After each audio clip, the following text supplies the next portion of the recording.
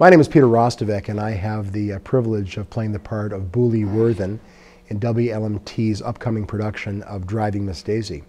Uh, Boolie Werthan is the son of Daisy Werthan, uh, the woman who gets driven in this show. Boolie's concerned about her welfare and her well-being because uh, she's prone to accidents. And uh, he, of course, hires the driver, Hoke. And uh, it's the three of us on stage. It's what's called a three-hander.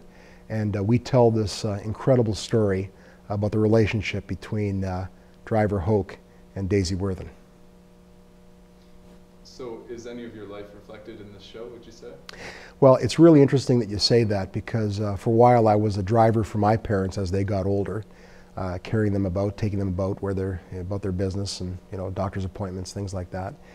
And um, the scene is really interesting because you come to a point where you have to make some uh, very difficult decisions about your parents. Both my parents are gone now, uh, as is my sister.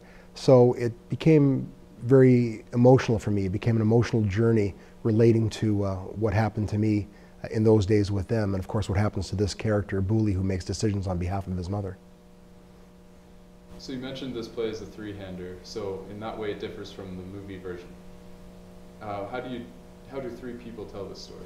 Well, it's interesting because uh, the uh, uh, the playwright, uh, when he got to the point where he did the uh, stage adaptation, brought in more characters just to just to uh, stretch out the story a little bit and and and, and populate it with more characters to make it a visual spectacle. But the three characters in this Pulitzer Prize-winning and Tony Award-winning play um, tell the story from the perspective of their own experience.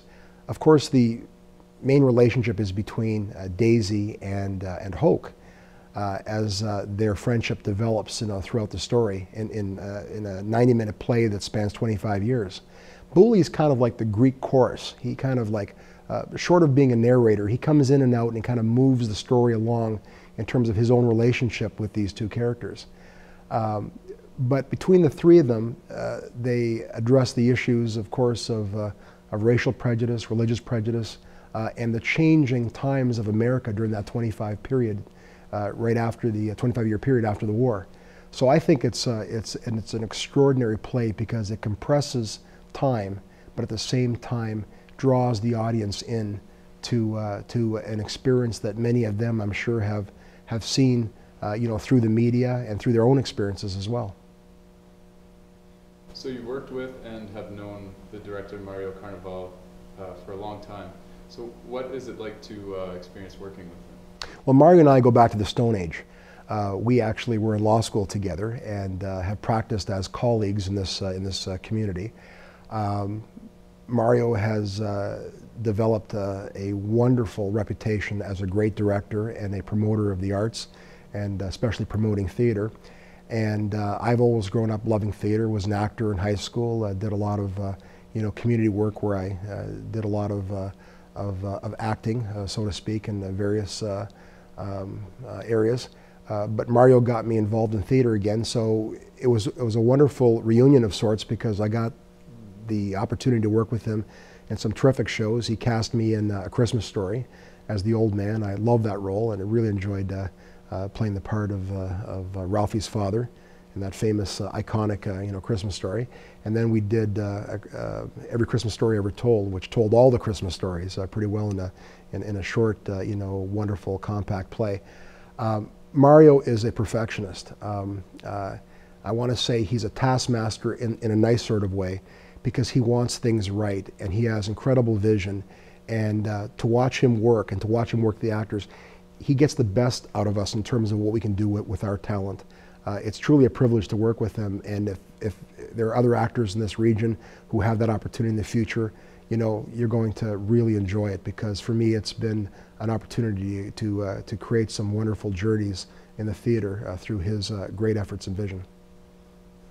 So you've kind of touched on it, but what, what kind of satisfaction do you get out of working in theater that you wouldn't get in your normal working life? Well, I practice as a lawyer, and uh, people say, oh, lawyers are all actors. Well, we are and we aren't. I mean, we're, we're constantly, you know, communicating, we're very verbal.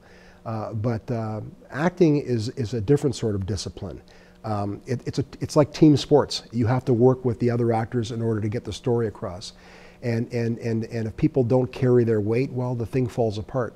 Um, in this uh, wonderful production, we've got three, uh, three uh, uh, I think, uh, well-suited actors working with each other. I, I'm, I'm privileged to be working with, uh, with Jim Walls and Norma Coleman. They're extraordinarily uh, talented. They've done uh, way more theater than I have, uh, but I've learned from them, learned from their experience, and working together, I think we create a, formidable team. You know, like I said, we've got a great coach in Mario and, and our producer, Ann Jamlin. We've got terrific people in this, in, in, in various roles, both on stage and off stage, to, uh, to give, I think, uh, local audiences uh, a great theatrical experience.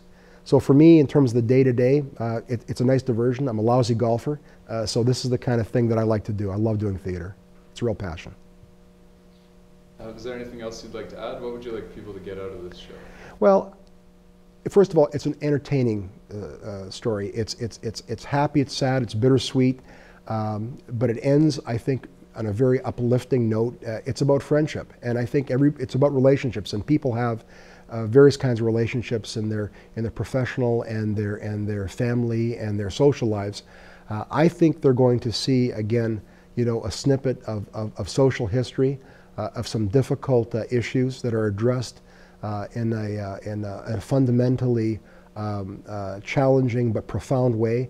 Uh, so I think at the end of the, the 90 minutes or so that they spend with us, they're going to walk away, I believe, very, very satisfied, and I think uh, with a sense that this is truly a memorable, memorable play. All the best to you. Thank you. Thank you very much, Adam. Thank you.